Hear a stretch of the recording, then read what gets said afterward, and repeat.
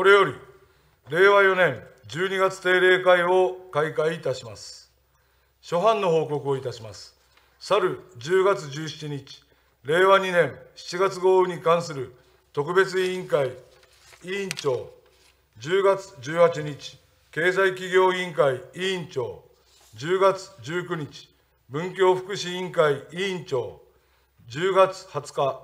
建設環境委員会委員長、10月21日、総務委員会委員長から、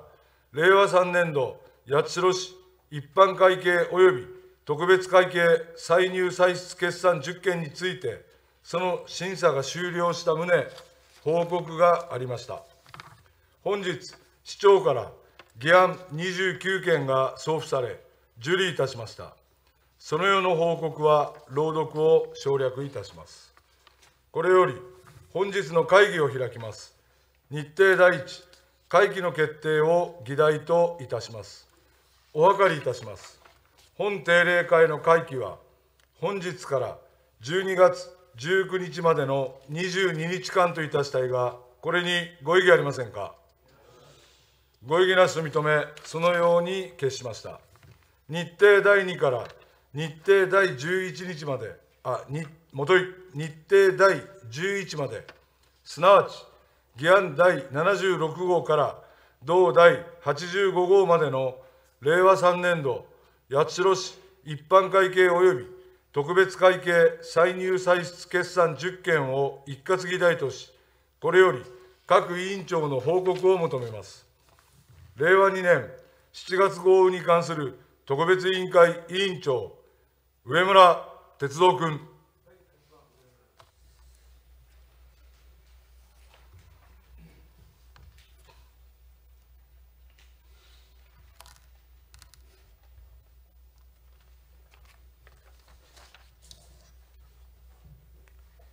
皆さんおはようございます。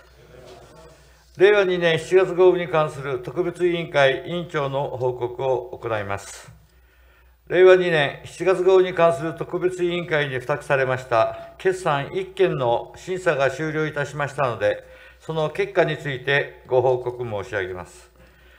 本委員会では、付託された決算議案について、執行部の説明を聞き、予算がその目的に従って十分必要されているか、またその効果はどうであったかなどに主眼を置き、審査を行いました。その詳細については、委員会記録に譲ることといたします。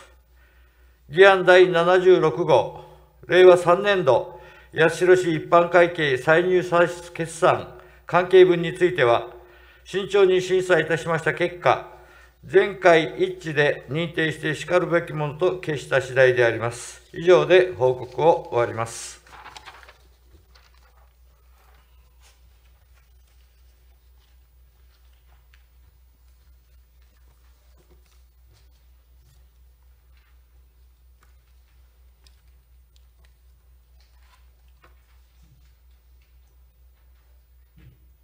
経済企業委員会委員長、増田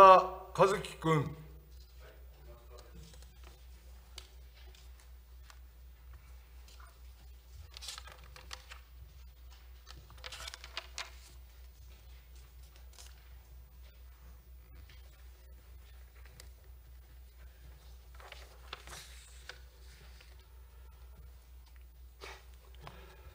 おはようございます。経済企業委員会に付託されました決算3件の審査が終了いたしましたので、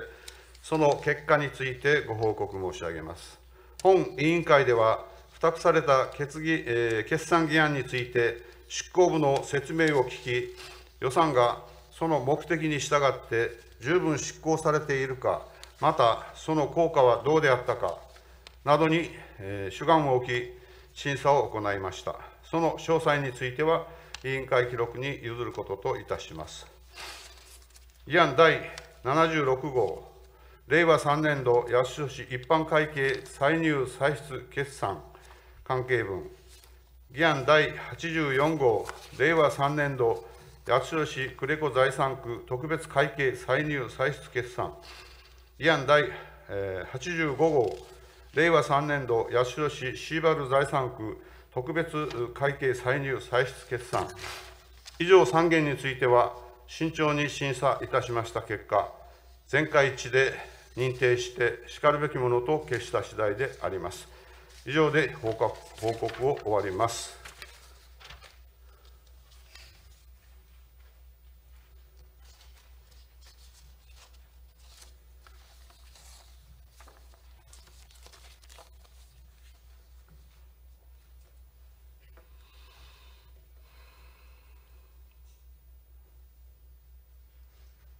文教福祉委員会委員長、中村和美君。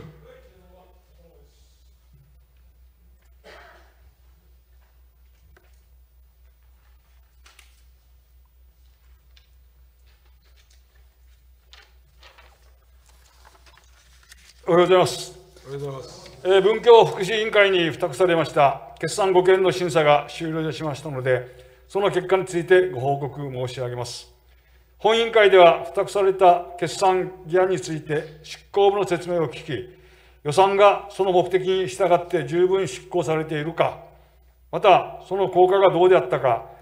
などに主眼を置き、審査を行いました。その詳細については委員会記録に譲ることといたします。議案第76号、令和3年度八代市一般会計補正元一般会計歳入歳出決算関係分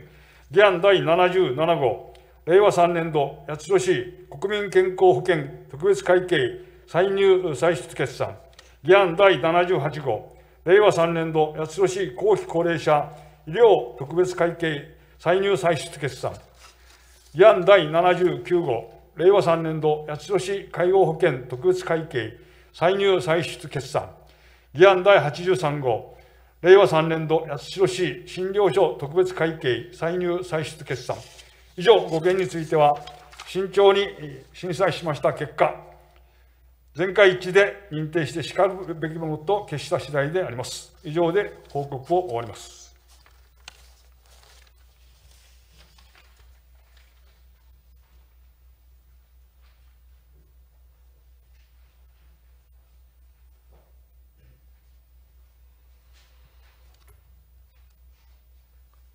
建設環境委員会委員長、上村哲三君。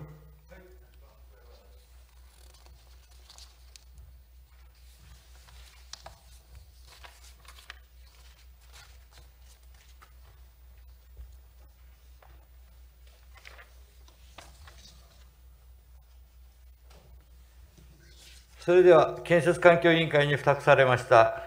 決算3件の審査が終了いたしましたので、その結果についてご報告申し上げます。本委員会では、付託された決算議案について、執行部の説明を聞き、予算がその目的に従って十分執行されているか、またその効果はどうであったかなどに主眼を置き、審査を行いました。その詳細については、委員会記録に譲ることといたします。議案第76号、令和3年度八代市一般会計歳入歳出決算関係分、議案第80号、令和3年度、八代市農業集落排水処理施設事業特別会計歳入歳出決算、議案第81号、令和3年度、八代市公共浄化相当整備推進事業特別会計歳入歳出決算、以上3件については、慎重に審査いたしました結果、全会一致で認定してしかるべきものと決した次第であります。以上で報告を終わります。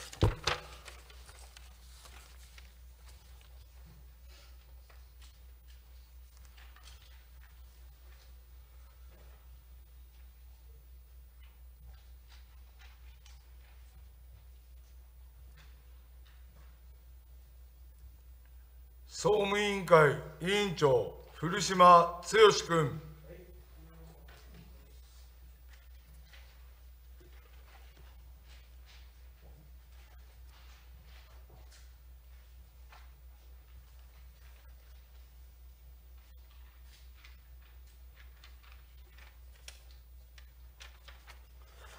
改めましておはようございます。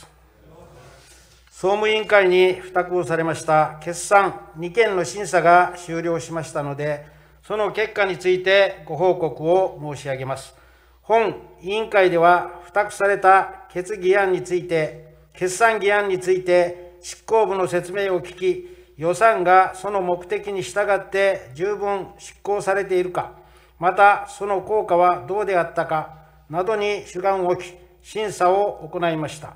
その詳細につきついては、委員会記録に譲ることといたします。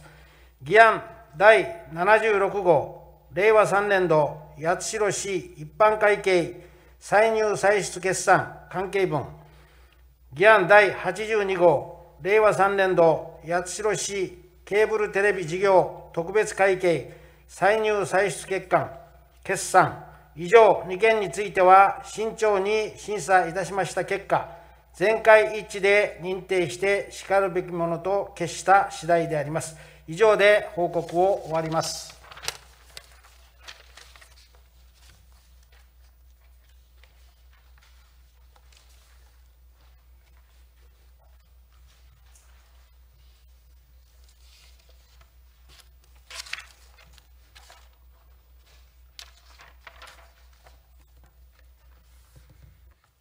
以上で委員長の報告を終わり、これより、ただいまの報告に対する質疑を行います。質疑ありませんか？以上で質疑を終わり、これより討論を行います。討論ありませんか？以上で討論を終わり、これより採決いたします。議案第76号、令和3年度八代市一般会計歳入歳出決算については、委員長の報告通り、これを認定するに賛成の諸君の起立を求めます。全員、よって本件は認定することに決しました。議案第77号、令和3年度、八代市国民健康保険特別会計歳入歳出決算については、委員長の報告通り、これを認定するに賛成の諸君の挙手を求めます。挙手全員、よって本件は認定することに決しました。議案第78号、令和3年度八代市後期高齢者医療特別会計歳入歳出決算については、委員長の報告通り、これを認定するに賛成の諸君の挙手を求めます。挙手全員、よって本件は認定することに決しました。議案第79号、令和3年度八代市介護保険特別会計歳入歳出決算については、委員長の報告通り、これを認定するに賛成の諸君の挙手を求めます。挙手全員、よって本件は認定することに決しました。議案第80号から同8同第85号まで、すなわち令和3年度八代市農業集落排水処理施設事業、同公共浄化層等整備推進事業、同ケーブルテレビ事業、同診療所、同呉子財産区、同シーバル財産区、以上の特別会計歳入歳出決算6件については、委員長の報告通り、これを認定するに賛成の諸君の挙手を求めます。挙手全員、よって本6件は認定することに決しました。日程第12から日程第40まで、すなわち議案第89号から同第117号までの議案29件を一括議題とし、これより提出者の説明を求めます。市長、中村博君。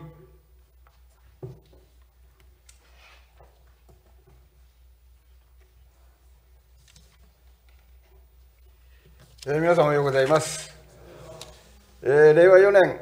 12月、定例市議会の開会にあたりまして、えー、ご挨拶申し上げます。えまずは定例会に提案しております議案の説明に先立ちまして、最近の市政の動向についてご報告申し上げます。はじめに新型コロナウイルス感染症への対応についてであります。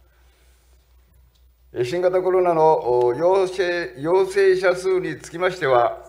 10月中旬頃から全国的に増加傾向が続いており、第8波に入ったとの指摘もなされております。熊本県内も同様の傾向にあり、最大確保病床使用率が20%を超えたことから、今月11日にリスクレベルがレベル2に引き上げられました。県の感染症対策専門家会議の分析によりますと、北海道や東北地方など、気温の低い地域で感染者数が急増している要因として、暖房時における換気の不十分さが挙げられております。これから冬本番を迎えるにあたり、インフルエンザの同時流行も懸念されておりますことから、本市といたしましても、換気の徹底をはじめとする基本的な感染防止対策の周知や希望される方への迅速なワクチン接種を推進してまいります。次に、坂本町の復興に向けた取り組みについてであります。令和2年7月豪雨災害を風化させることなく、被災された皆様を応援することを目的として、今月13日に坂本町復興講演会を開催いたしました。当日は議員各位多数のご臨席のもと、坂本町鶴の湯旅館4代目の土山大輔さん、東日本大震災語り部の佐藤美香さん、本市出身の映画監督である遠山昌司さんによる講演会と俳優中原武雄さんを加えた4名の皆様によるパネルディスカッションが行われました。講演会では、災害から復興への歩みや命の大切さについて、そしてパネルディスカッションでは、ふるさとへの思いや被災の経験を踏まえた災害への備え、心のケアなどについて、それぞれのお立場からお話しいただきました。また、来月4日には、球磨川流域橋梁着工式が坂本町の旧グリーンパークで開催されます。八代人吉間で流出した橋梁 10, 橋10橋を含む国道219号や県道等の被災道路につきましては、国の権限代行による災害復旧事業を進めていただいております。今回の着工式は、流出した橋梁のうち、坂本橋、釜瀬橋など5橋の下部工事の着手にあたり、国県、関係市町村で開催するものであります。これらの橋は、地域住民の皆様の生活を支える重要な橋であり、とりわけ釜瀬橋は八代と人吉、熊、足北をつなぐ幹線道路である国道219号が号にかかる橋ということもあり、流域市町村のみならず多くの方々が一日も早い完成を願っていらっしゃいます。本市といたしましては、国県流域市町村とさらなる連携を図りながら、引き続き復旧・復興に全力で取り組んでまいります。次に政府要望についてであります。令和2年4月豪雨災害からの創造的復興やその他の重点的に対応すべき課題解決を図るため、成松議長とともに今月15日から16日の2日間にかけて要望活動を行ってまいりました。今回の要望では、金子代議士のサポートをいただきながら、坂本地元選出の国会議員の先生方をはじめ、国土交通省、総務省、農林水産省の大臣政務官や事務次官、局長など、2日間で50カ所以上を訪問し、22項目の要望書を提出してまいりました。なお、今回の本市の重要課題である国際クルーズの早期再開についても要望を行ったところでありますが、今月15日に国土交通省が国際クルーズ船の受け入れを来年3月から再開する旨を発表されました。円安や水際対策の緩和がインバウンド需要回復に追い風となっている中、熊本ポート八代を有する本市といたしましても、国際クルーズの運航再開を大いに期待しているところでございます。引き続き、ポートセールスや受け入れ準備に努めるとともに、市民の皆様のクルーズ船に対する不安払拭に向けた取り組みも進めてまいります。次に、八代市デジタルプレミアム商品券の二次販売についてであります。多くの方々にご利用いただいているプレミアム率40%の当該商品券でありますが、市民の皆様の家計負担軽減と事業者の皆様の継続的な支援を目的に、現在、アプリ版の二次販売を実施しております。申し込み期間は来月9日 ,9 日までとしており、お一人につき額面2万8000円分まで購入いただけます。また、世帯の代表者の方が同一世帯でスマートフォンをお持ちでない方の分も購入できるよう、最大5名,、えー、5名分までまとめて申し込みができるようにいたしました。新規で購入される方はもちろんのこと、一時販売で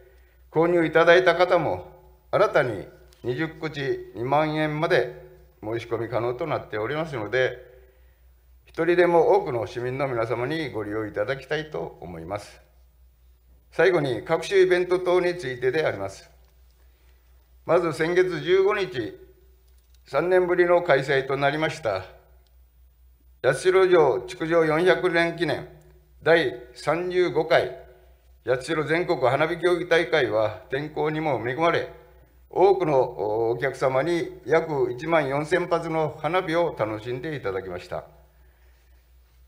サプライズとして上演されたポケモン GO スペシャルドローンショーも大変好評でありました。同じく3年ぶりに開催されました八代妙見祭につきましては、今月6日にお祭り伝々館で開催されたちびっこ妙見祭を皮切りに22日の小屋では、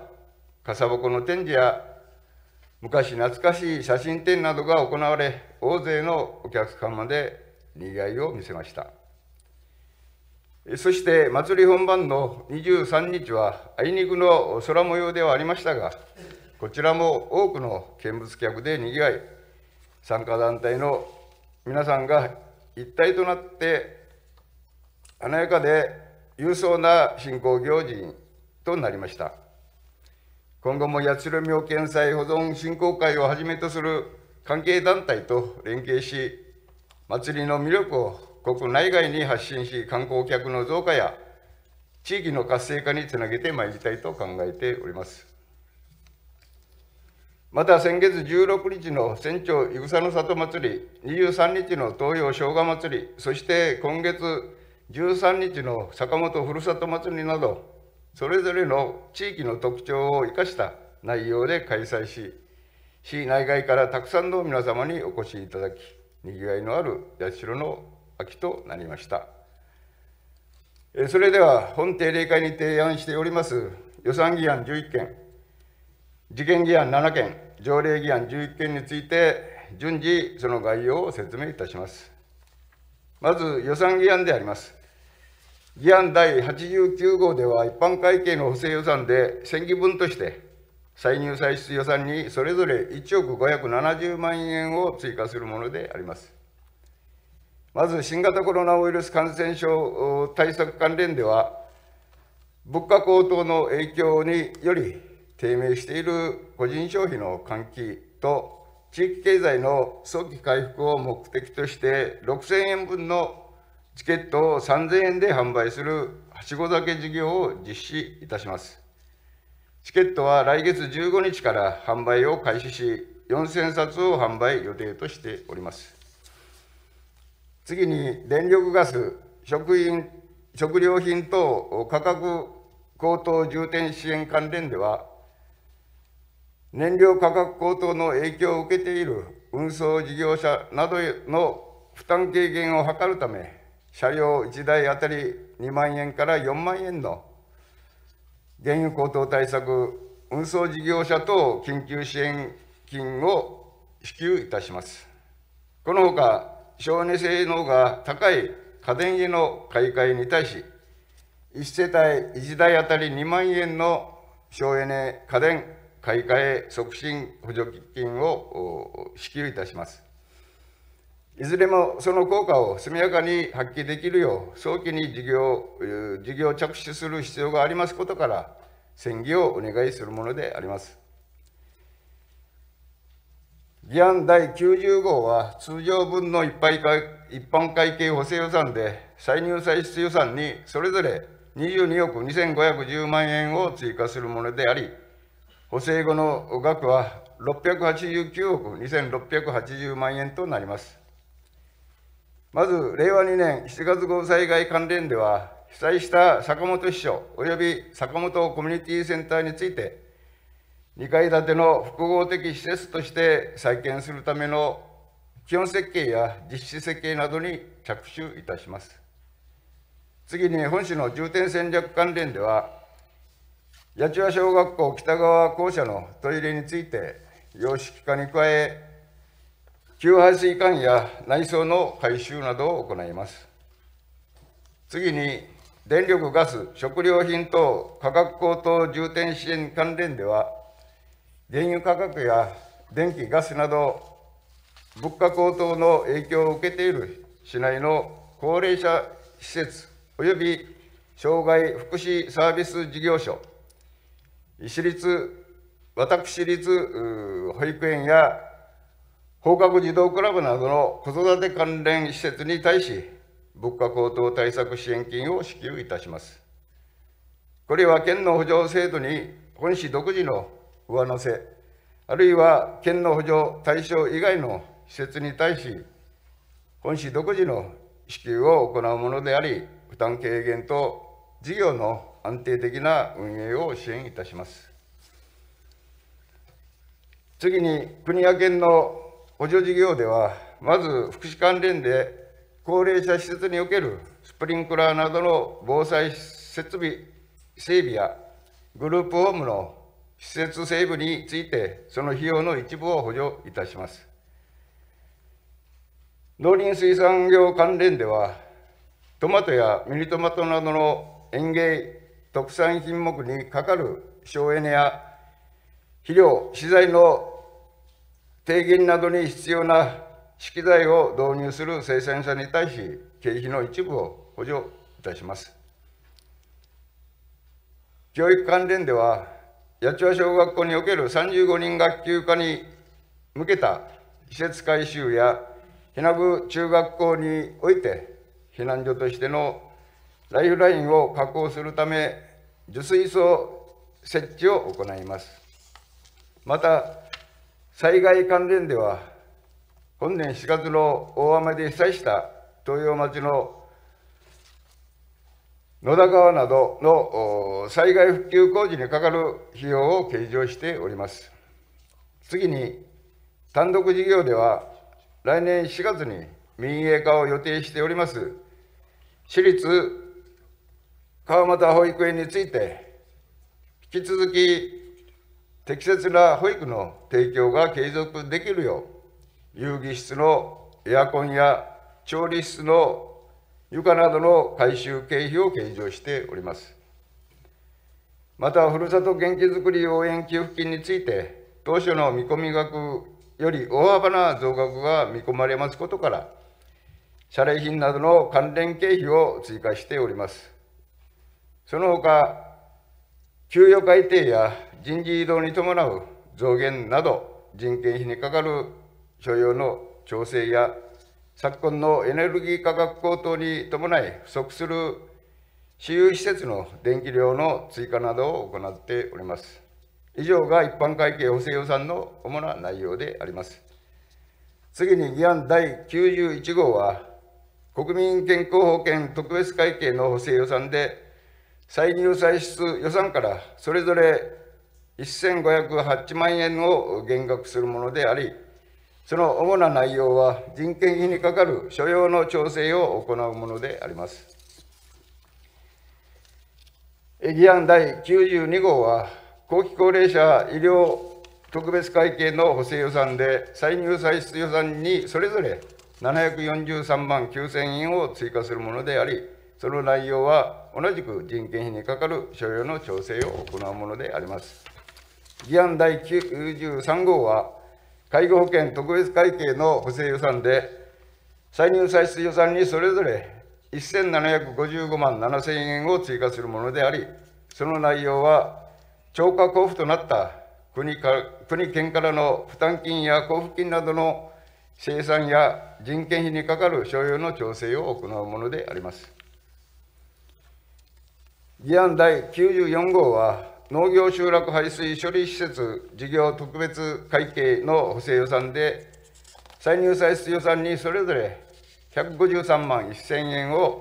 追加するものであり、その内容は不足する電気量の追加を行うものであります。議案第95号は、ケーブルテレビ事業特別会計の補正予算で、規制管理に伴う債務負担行為の設定を行うものであります。議案第96号は、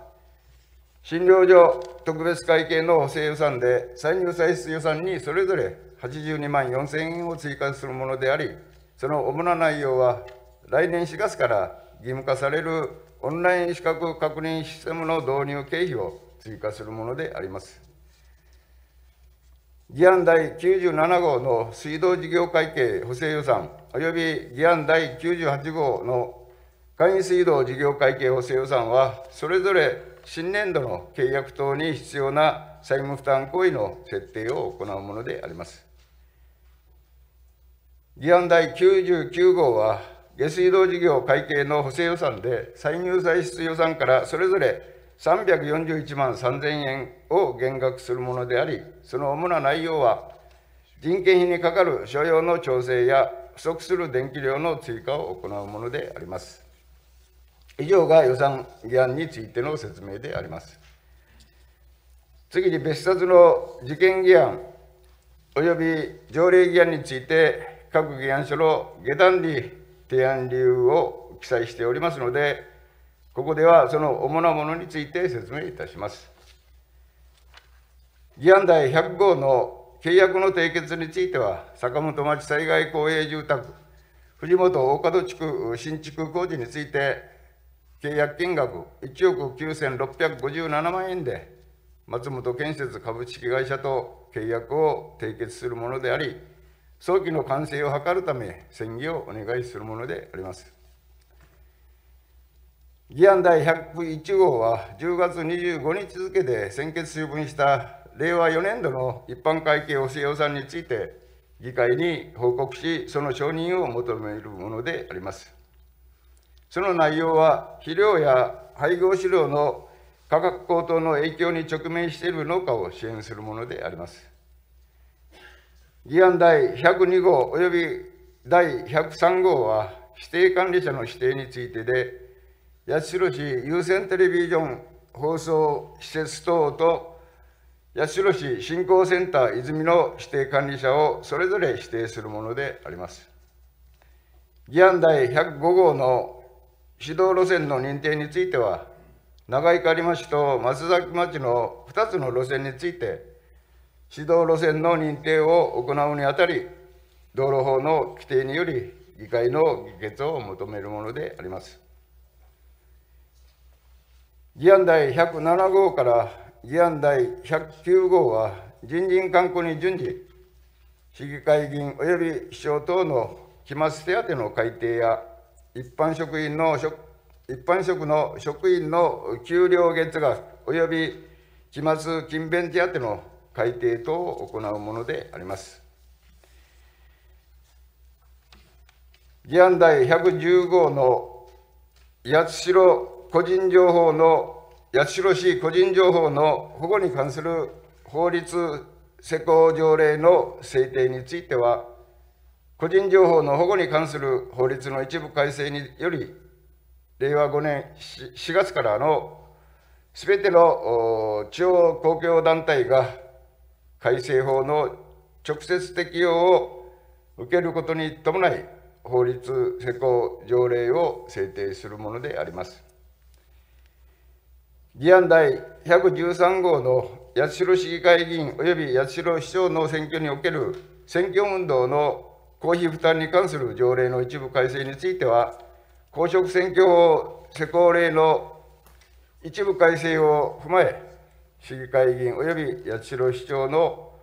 選挙における公費負担単価の引き上げを行うものであります。議案第114号から第116号までは、農業集落排水処理施設、公共浄化層、公共下水道の使用量について、それぞれの事業審議会の答申を得た上で改定を行うものであります。以上が各議案の提案理由の説明であります。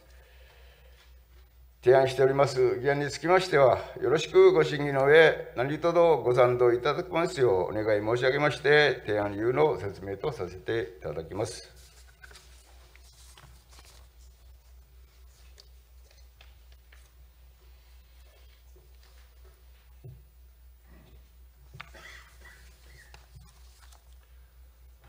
以上で提出者の説明を終わります。この際、お諮りいたします。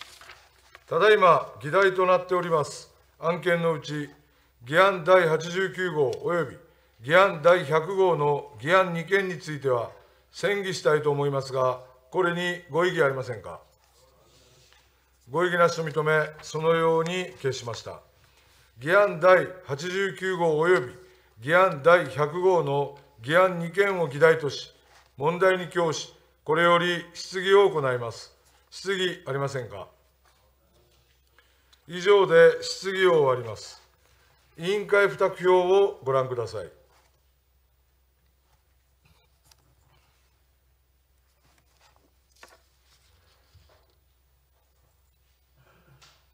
ただいま質疑が終わりました。議案2件については、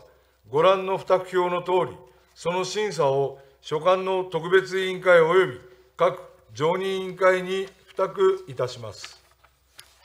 委員会開催のため、しばらく休憩いたします。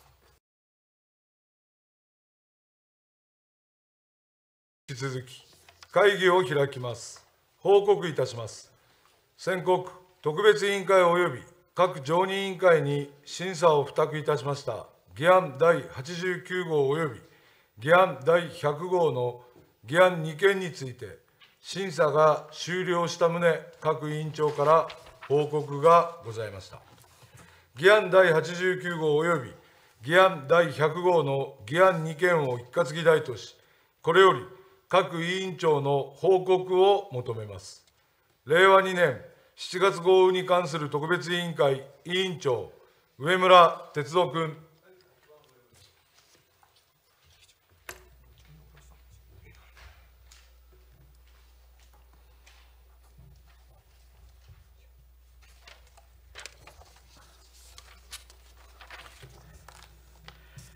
令和2年7月豪雨に関する特別委員会に付託されました事件1件の審査が終了いたしましたので、その結果についてご報告申し上げます。なお、議案については執行部の説明を聞き、質疑、意見が行われましたが、その詳細については委員会記録に譲ることといたします。議案第100号、坂本町災害公営住宅、括弧藤本大門地区確保、新築工事にかかる契約の締結については、慎重に審査いたしました結果、全会一致で可決してしかるべきものと決した次第であります。以上で報告を終わります。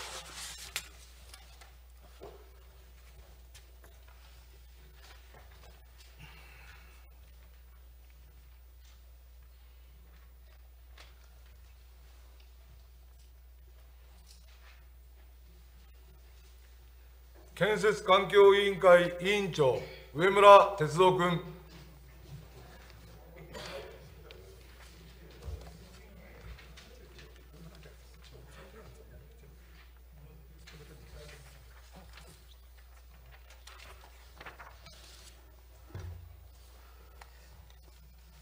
それでは建設環境委員会に付託されました予算案1件の審査が終了いたしましたので、その結果についてご報告申し上げます。なお、議案については執行部の説明を聞き、質疑意見が行われましたが、その詳細については、委員会記録に譲ることといたします。議案第89号、令和4年度八代市一般会計不正予算第9号関係分については、慎重に審査いたしました結果、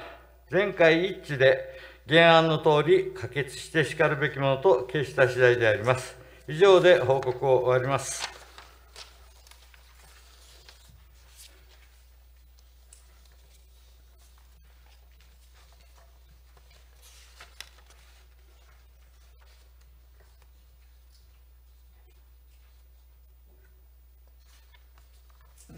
経済企業委員会委員長、増田和樹君。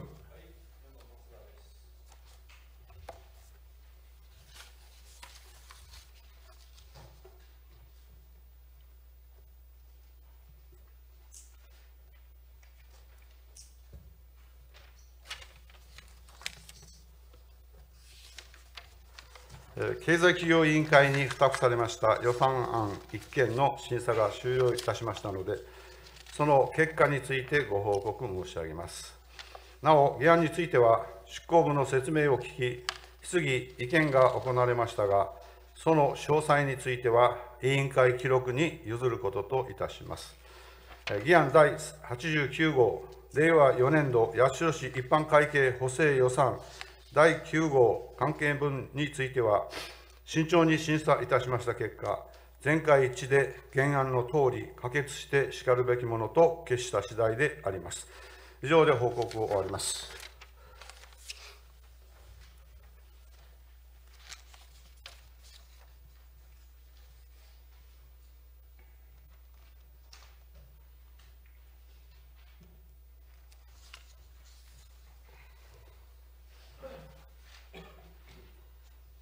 総務委員会委員長古島剛君。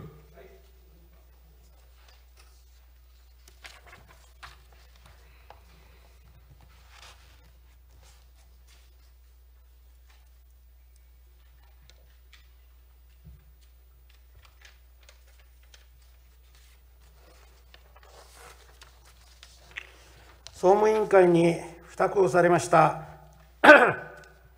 予算案1件の審査が終了いたしましたので、その結果についてご報告を申し上げます。なお、議案については執行部の説明を聞き、その詳細については委員会記録に譲ることといたします。議案第89号、令和4年度八代市一般会計補正予算第9号関係分につきましては、慎重に審査いたしました結果、全会一致で原案のとおり、可決してしかるべきものと決した次第であります。以上で報告を終わります。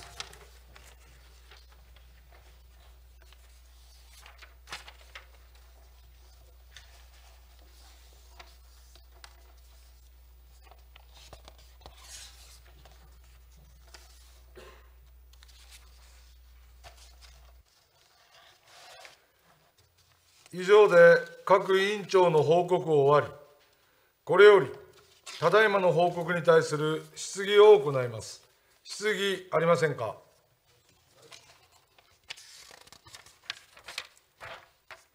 以上で質疑を終わり、これより討論を行います。討論ありませんか？橋本徳一郎君。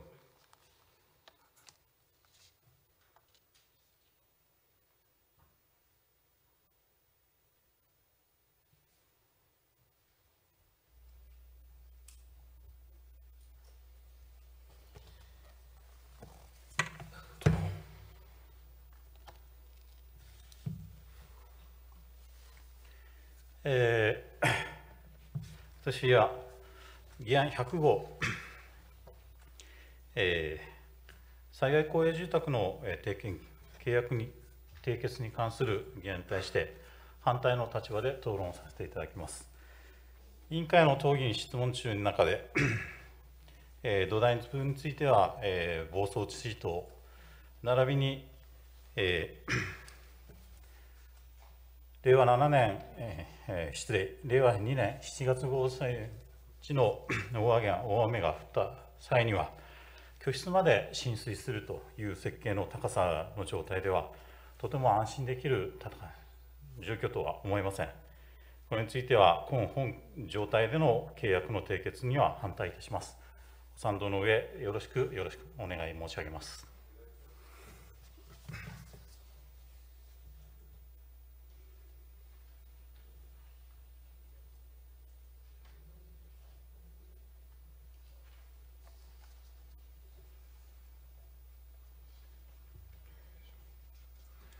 他にございませんか？